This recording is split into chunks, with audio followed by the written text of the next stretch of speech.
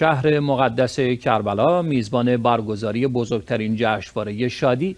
به مناسبت میلاد حضرت زینب سلام الله علیها بود که در سالن بزرگ جشنها در مقر کاخ فرهنگی کربلا برگزار شد.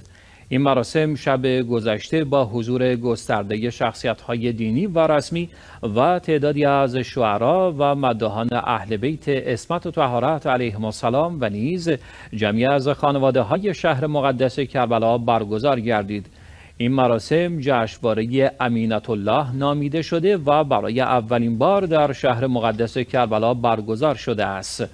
در همین راستا خبرنگار خبرگزاری اخبار شیعه که پیگیر خبرهای این جشنواره بوده در این باره می‌گوید جشنواره امینت الله به همت و میزبانی هیئت طفل رضی و یال سارات الحسین علیه السلام برگزار شد و اسپانسر مالی این مراسم برخی از تجار شهر مقدس کربلا بودند.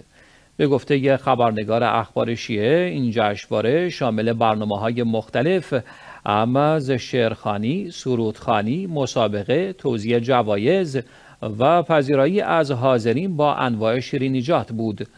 در این مراسم همچنین به دخترانی که نام آنها زینب یا هورا بود هدایایی اهدا شد.